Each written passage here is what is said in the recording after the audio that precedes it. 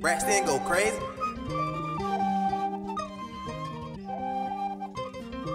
Quarter ton dropping weight on them?